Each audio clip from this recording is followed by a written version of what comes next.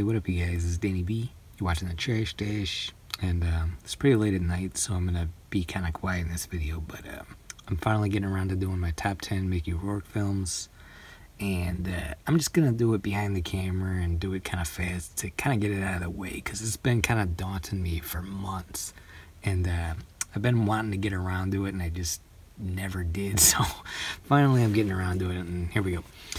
Um, I gotta get kind of back into the swing of making videos too, so give you know, bear with me here. But all right, coming up at number ten, it's gonna be one called Thicker Than Blood, which is a made-for-TV movie for uh, TNT. Actually, Mickey Rourke plays a priest in this. He's actually really good in it. But unfortunately, he is the best part of this movie. The rest of it is not that great. But Mickey Rourke kills the role. So if you're a fan, definitely check this one out. I liked it, but it wasn't the best movie I've ever seen. But still worth checking out if you can find it. Yeah, Thicker Than Blood at number 10. Uh, number 9 is going to be one that I don't own a copy of, so I'll just put a picture here. And it's going to be Johnny Handsome, which is an okay movie. It's directed by uh, Walter Hill, who did, you know, like Hard Times and The Warriors and it's not his best work that I've seen, but Mickey Rourke's pretty good in it, and it was an okay movie, pretty fun movie, and um, Morgan Freeman's in it, and uh, I think Daryl Hannah's in it, if I remember. Oh no, she's in this next one. Uh, number eight is gonna be The Pope of Greenwich Village. This is my dad's favorite movie, and um, I watched it a bunch growing up, and rewatching it these days, I still like it, but I don't like it as much as I did when I was a kid. Um, and you know what's funny is it took me a long time to realize the movie Friday ripped this movie off. Like the plot is almost exactly the same as uh, Friday. Like, like Eric Roberts is basically Smokey. He's basically Ice Cube. You know, they get fired from the job right away, and then they don't know what to do, and they get in trouble with the mobster, who's basically kind of like a mix between Debo and Big Worm. And yeah, so if you're a fan of Friday, definitely check out the Pope of Greenwich Village. This one's more heavy on the drama than the comedy, but uh, yeah, it's a great movie. Pope Greenwich Village, number eight. Number seven is going to be Barfly. Um, pretty good movie, great performance. This is a Cannon movie, so it's got like a little bit of Cannon esque stuff going on in it, but yeah, based on the life of I think his name is Charles Bus- Bukowski. He was a writer who I actually have never read any of his stuff or anything, or I guess he was a poet writer. I don't know, but this movie's pretty good. He's basically kind of like a bum who has the potential to be famous, but he doesn't want to be famous. yeah, Barfly, good movie. Uh, number seven. All right, coming up at number six is going to be Spun. And uh, this is a crazy movie about tweakers. And if you're easily, um, like, uh, sickened by shaky camera stuff or, like, you know, fast cutting imagery, then don't watch this. But yeah, this is a good one. And um, Mickey Rourke is absolutely the best part of this movie, in my opinion. Uh, you know, other good actors too, like John Leguizamo and um, what's this guy's name again from all the Wes Anderson movies? Uh, Mena Suvari is really good in this. Yeah, it's it's not real heavy on the plot. Oh, Brittany Murphy. Yeah, I, I almost forgot about her. Yeah, she was great in this.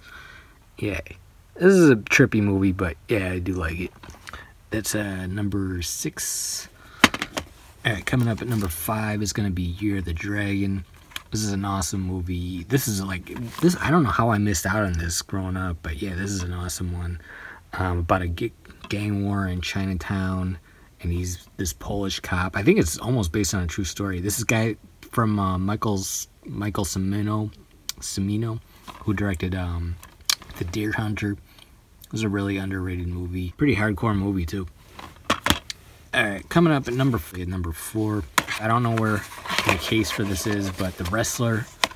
And a lot of people say this is his best movie. It's good, but I wouldn't say it's his best. Probably his last best movie. Like, I don't think he's done anything better since he's done this. But yeah, The Wrestler, awesome performance. And it's almost, kind. it reminds me a lot of like Rocky, but it doesn't have the happy ending that Rocky has. And Marisa Tomei is great in this too yeah, I really like this movie, The Wrestler. Um, yeah, number three is going to be nine and a half weeks, and I had the wrong idea about this movie from ever since I heard about it. I thought it was gonna be like a cheesy romance movie, but it's it's really dark actually. It's like about like this guy who's kind of like a narcissist and he's mind controlling um, uh, uh, Kim Basinger's character. Yeah, um, yeah, great movie. This is like uh, Fifty Shades of Grey before that was ever a thing. Nine and a half weeks. All right, coming up at number two is gonna be Bullet and this was my favorite one for a long time, but it recently just got switched to the number two spot by the one I'm about to say.